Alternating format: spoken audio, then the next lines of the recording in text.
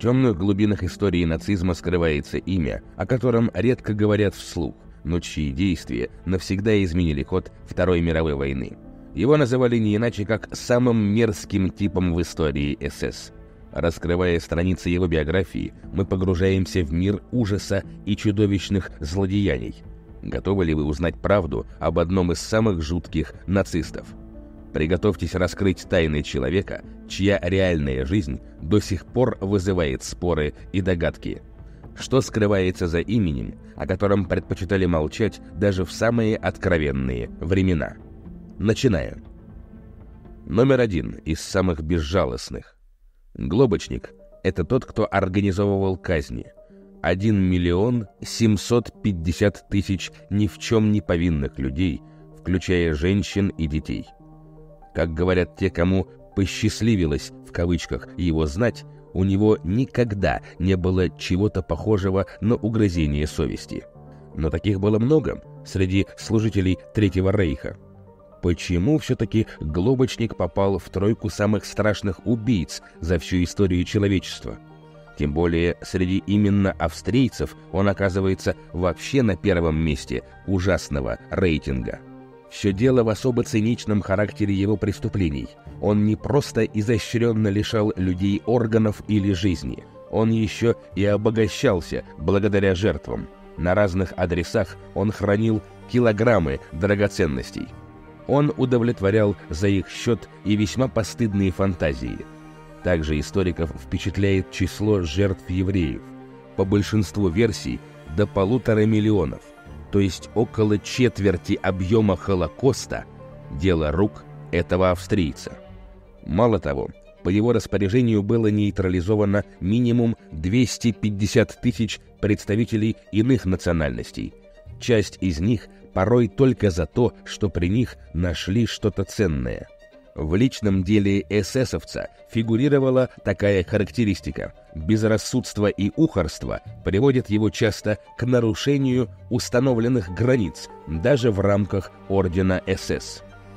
Цинник-расист, извращенец, хапуга, ведь от жадности и записали его безрассудным. Глобочник олицетворял собой типичного представителя людей без национальности – краткая биография, начало карьеры и первые убийства.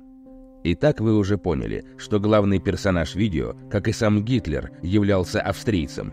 Он происходил из той части Австро-Венгрии, которая зовется Триестом и ныне принадлежит Италии, ее самому восточному региону, имеющему название Фриули Венеция Джулия. По официальной версии отец – офицер австро-венгерской армии, кавалерист, Мать же происходила из Баната, пограничье Сербии и Румынии. Мемуаристы намекают, что в роду этих двоих были еще и немецкие, и даже венгерские корни. Род был интернациональным. Адила родился в 1904 году. Обычную школу посещал в Триесте. Как и многие в старину, пошел по стопам отца, закончив потом и военное заведение. Уже в Санкт-Пельтоне. Семья этого человека, несмотря на родословную, идентифицировала себя подданными Австрии не просто в гражданском, но и в культурном смысле. Адила идеально говорил по-немецки, школа была типично австрийская. Обучаясь на военного, вплоть до конца Первой мировой войны, молодой человек готовил себя к войне с Антантой. Но война окончилась, а империя развалилась. Однако подросток душой остался именно с Австрией – нужно было получать мирную профессию. 15-летний парень в 1919 году поехал в австрийский Клагенфурт, к слову, вместе со всей семьей, где с отличием окончил ремесленное училище. Никогда не был белоручкой, в свободное от занятий время подрабатывал носильщиком на вокзале – Став в 1923 году дипломированным инженером, трудился в строительных организациях. Будучи еще первокурсником училища, не раздумывая, записался в молодежную организацию, провозглашающую лозунг «Австрия для австрийцев». Это был первый шажок на пути к службе у нацистов, которые придут к власти спустя 14 лет. Однако Адила не стал терять времени вступив в НСДАП за два года до этого, еще в 1931 году. Бежал впереди паровоза. в партии. Не хотевший семью, а хотевший лишь карьеру, Адила подсуетился весьма кстати – как известно, люди, получившие партийный билет НСДАП еще до того, как национал-социалисты добились всех ключевых постов, стали ядром Третьего Рейха. В 1933 году он уже зам гауляйтера Каринтии, области Австрии, в которой учился. Потом еще и гауляйтером Вены придется побывать. Теперь обратимся к 1934 году, когда ариец уже важный функционер именно в СС. То есть он оказался в военной структуре, к которой Австрия еще 4 года до аншлюса не имела отношения. Однако немецкие нации сразу приняли Глобочника за своего. Лицевые показатели оказались вполне себе нордическими. Увлечение немецкой культурой, стаж правопопулистском движении, члены которого зарекомендовали его уже как истого сторонника этнических чисток. Все это говорило о том, что молодой человек точно достоин звания арийца. Он стал настолько важным, что в 1941 году, когда захвачена Польша, а СС по решению НСДАП становится карательной структурой, именно ему доверяют курировать, как представителю самого Гиммлера, сети управления СС и концентрационных лагерей. Однако первые убийства, к которым он имеет прямое отношение, касаются времени, когда Глобочник еще не находился в лагерях смерти. Глобочник какое-то время был чем-то типа главного военного полицейского в оккупированной Польше. Он лично принимал участие в расстреле повстанцев и евреев, которых начали отлавливать еще до строительства самого первого лагеря. Дело в том, что в Люблине, польском городе, где была устроена его ставка, создали резервацию для евреев. С людьми, у которых на одежде была нашита звезда Давида, можно было делать все, что угодно. И делали. Гиммлер тогда назовет своего ставленника в польской структуре СС всесторонне развитой натурой. Действительно всесторонне, лагеря смерти, Собибор, Бельзик, Треблинка, Майданок, Освенцим. Вот именно эти пять учреждений для утилизации и медицинских опытов станут детищем именно описываемого тут человека. По его личным указаниям тут все строили и оборудовали, завозили евреев и немного иных категорий узников, вынужденных заниматься грязной работой после каждого процесса уничтожения именно евреев. Очистка от евреев именно Польши получила наименование «Рейнхард» – «Смелая мощь». Рассуждая о названии операции, в которой упомянутый фашист стал царем и богом, непонятно при чем тут смелость. Разве нужна она для того, чтобы насобирать по всей Польше полтора миллиона беззащитных людей, часть которых старики, женщины и дети? А потом довести до газовых камер, объясняя, что надо раздеться и помыться, одеться потом в чистую робу. Камеры были правда похожи на душевые кабины. Так что в первые месяцы паники не было. Травили именно угарным газом – он шел из лейки, из которой люди ждали воды. Фанатично предан выполнению поставленных перед ним задач. Читаем мы далее в деле Глобочника. Каких таких задач? Оказывается, еще студентом, присоединившись к правым популистам австрийского региона Каринтия, он поклялся сам себе избавить родной для него Остеррайх от славян, мадьяр, влахов, евреев и цыган. Таким образом, он настолько яро желал избавляться от унтерменшей, что порой делал что-то раньше того часа, в который приходил приказ сверху. Он нарушал дисциплину, но так как занимался он делом нужным для Третьего Рейха, то ему все сходило с рук. Склонность к форсированию событий, как вы уже знаете – обозначилось еще в том моменте его биографии, когда он присоединился к германским нации, то есть к Третьему Рейху, за четыре года до того, как это сделало его отечеством, Австрия.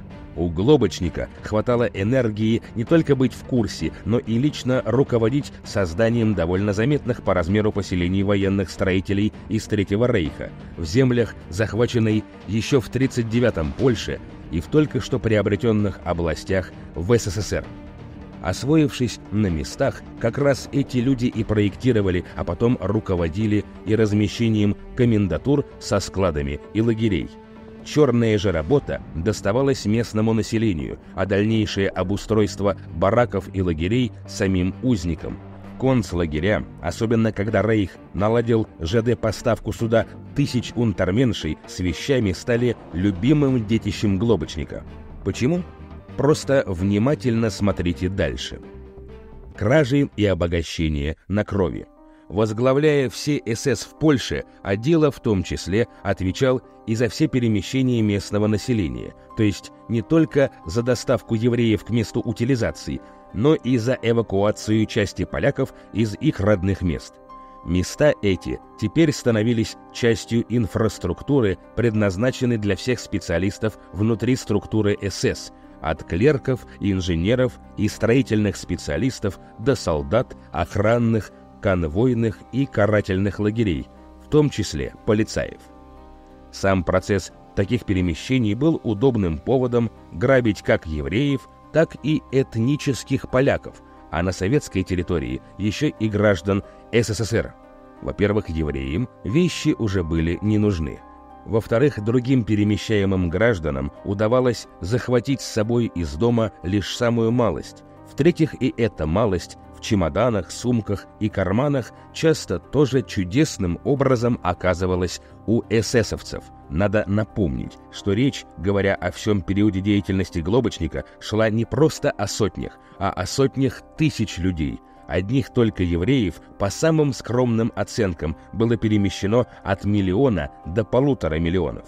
Самый большой куш получал от такого ограбления руководитель операции Рейнхард, основное действующее лицо сей истории. Эвакуации проводились с особой жестокостью, а обладателей чего-то особенно ценного просто убивали. Конечно, без свидетелей, дабы не порочить Третий Рейх в банальных кражах. А если не было возможности сделать это украдкой, то обладателей ценностей тоже обвиняли в принадлежности к группе повстанцев, партизан, коммунистов, да кем угодно, лишь бы отправить еще и этих людей в лагеря.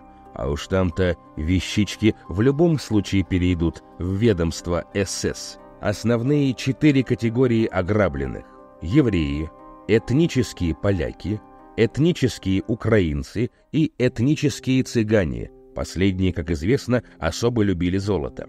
Гиммлеру все это было известно, но он смотрел на проделки Глобочника и его прикормленных в каждом отряде людей сквозь пальцы. В конце концов, многие бонзы Энсдап превращались во время войны в обладателей чужой собственности. В итоге по некоторым источникам вместе с евреями общее число ограбленных, а потом умерщвленных могло достигать 1 миллиона 750 тысяч человек. Только вдумайтесь в эту цифру. Для сравнения, это больше, чем все сегодняшнее население Гамбурга, второго по размеру города в Германии. Вот кусочек отчетности – из одного только Освенцима за полтора месяца в Германию доставили и распределили 222 269 мужских костюмов и бельевых комплектов, 192 652 набора дамской одежды, 99 922 детской одежды. Одежда не была забрызгана кровью – ведь евреи сами снимали и аккуратно укладывали ее на скамьи, думая, что идут принимать душ. Волосы задохнувшихся, но еще не сожженных жертв шли на изготовление мягких тапочек для экипажей субмарин и на плетение сумок. Позже научились вытапливать жир на мыло. Золотые зубы тоже воровали еще до сожжения, переплавляли в слитки, чтобы потом сдать в Рейхсбанк. Насчет именно СС организация была самоокупаемой, даже являлась донором. Стекла очков казненных рождали свежие очки для служителей Третьего Рейха, но а про папки и абажуры из человеческой кожи вы сами знаете. Всей этой вознёй занимались узники, которые не были евреями, цыганами и коммунистами. Глобочник именовал их очень нужными людьми в системе нового европейского порядка. Гиммлер, когда указанная выше операция была закончена, с немецкой педантичностью требовал учета ценностей, полученных в ходе ее проведения – украшения, наручные и цепочные часы, золотые и серебряные зубы, небольшая утварь из драгоценных металлов, наличные деньги. Само собой, Глобочник понимал, что забирать все себе и своим было нельзя. Львиная доля краденого складировалась эсэсовцами в надежном месте и подлежала учету. Гиммлер остался доволен. Но летом 1943 года, когда силам Рейха сломали хребет, он почему-то все равно отозвал своего протеже из Люблина. На Глобочника донес некто Цорнер. Его сменил Хёс, бывший главной персоне описанной выше эсэсовской операции чуть было не поручили дела в более беспокойной части новоприобретенных земель в нескольких областях СССР – но потом сжалился и перевел Адила в родной Триест. Там он многих знал, а значит, был бы куда полезнее. Да только партизаны прочих деятелей сопротивления на итало-австрийской границе оказалось столько, что возглавленная им полиция ближе к 1944 году разбежалась. Сам он еле ноги унес, вернувшись в соседнюю австрийскую Каринтию – подарившую ему и все профессии, и политический статус. И в этой связи остается упомянуть, что Глобочник убивал лично и приказывал убивать людей не только из-за самих целей утилизации или ограбления, еще с помощью издевательств и убийств он удовлетворял и свое эго, и конкретно свое либидо. Огромная власть, известно, развращает людей. Извращение – Группанфюрер СС, а одновременно руководитель городской полиции Люблина, Адила Глобочник, не боялся уже практически ничего, кроме разве что самой смерти, чаще находясь в Люблине, своей ставки. Соответственно, он куда больше навещал именно Люблинскую резервацию для евреев руководствуясь крепко сидящими в голове идеями расового превосходства, мужчина в самом расцвете половых сил удовлетворял гнусные садистские фантазии. Его охрана все хранила в тайне. Из немецкоязычных приближенных был лишь адъютант Эрнст Лерх. Остальные в личной гвардии были других корней – эта четверка занималась такими вещами, что даже самого шефа СС Гиммлера как-то вырвало после расправы над восставшими в Белостоке евреями.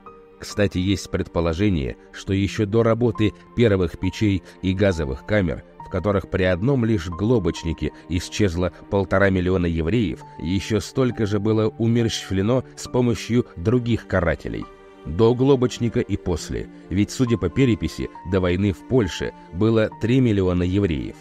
Гвардия Глобочника отличалась беспримерной фантазией во всяких изуверствах.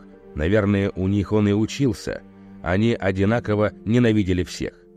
Начался арийский разврат, видимо, в 1933 году – причем в месяцы, когда ни германские нации, ни тем более австрийские национал-шовинисты еще не пришли к власти.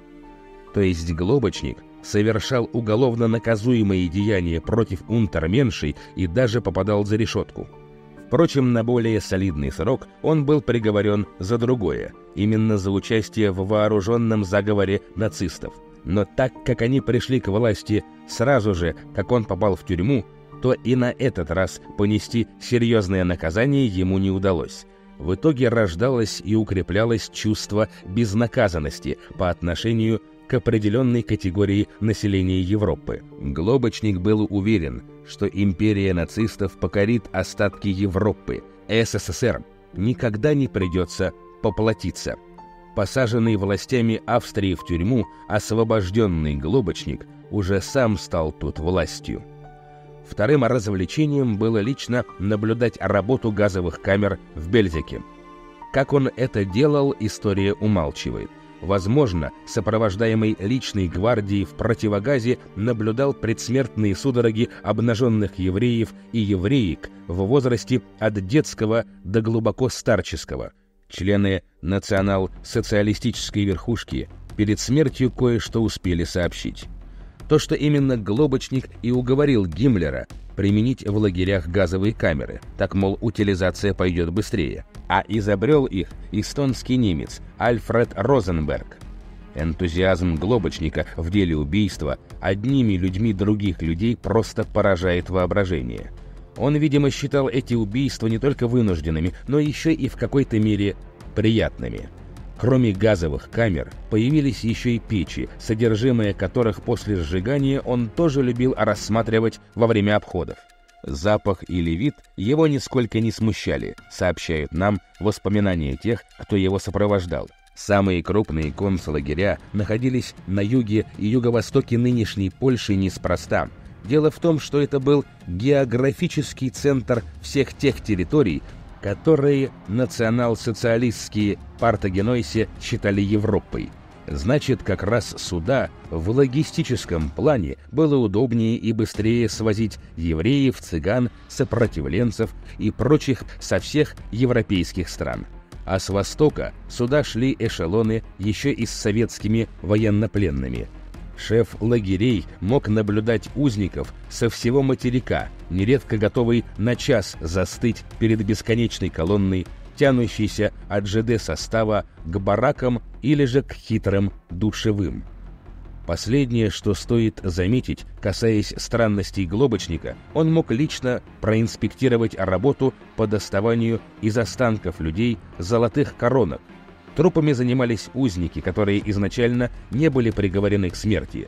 Еще рассматривал процесс сортировки вещей в душевых, после того, как подачу газа сюда останавливали. Глобочник ощущал себя хозяином всего этого несметного богатства. Тут надо повториться, что немалая часть полученных таким образом ценностей тайно шла и в его собственную заначку – Последние дни и смерть Глобочника. 1945 год. Последние несколько месяцев в жизни Глобочника были связаны с регионом Каринтия и Италией. С группой самых ближайших единомышленников Глобочник поднялся в хорошо знакомые ему горы, укрывшись в крохотном альпийском шале близ Вайсензе. Дальше пути у этой компании разошлись. 31 мая 1945 года недалеко от обозначенной локации Глобочника на пару с личным адъютантом Эрнстом Лерхом арестовал британский отряд. Союзникам поручили освобождать от фашизма именно австро-славянско-итальянское пограничье. Глобочник пообещал главному офицеру несметные богатства, которые держал в определенных местах. Мол, он укажет, в каких, если получит гарантии сохранности жизни. Кстати, после ареста Адила и его адъютант были доставлены в замок, недалеко от итальянского Патернионе. И именно здесь, почуяв что-то неладное, автор изуверских приказов покончил жизнь самоубийством. Он не был настолько наивен, чтобы предполагать, что ему и в случае краха Рейха удастся избежать наказания. Наказание за, возможно, самое глобальное массовое убийство – Конечно, он вшил в воротник ампулу с ядом, как показали врачи цианидом. Офицер СС раскусил ее после окончательного анализа складывающейся вокруг него обстановки. Настоятель местного костела наотрез отказался разрешить церемонию похорон глобочника на территории вверенного ему кладбища. Пастор, осенив себя крестом, посчитал такое предложение оскорблением для него и для всей его паствы. Эсэсовца зарыли в стороне от могил. Нюрнбергский процесс, кто не знает, это 216 долгих заседаний суда, которые продлились почти год. Заседатели очень ждали, что и Глобочника все-таки доставят сюда. Но правосудие свершилось совсем не тем образом, на который рассчитывали победители. Граждан, которых в мегаколичестве уничтожал самый мерзкий тип самой мерзкой из когда-либо известных организаций. Тем не менее, Так или иначе, Глобочника не стало. Он устроил суицид.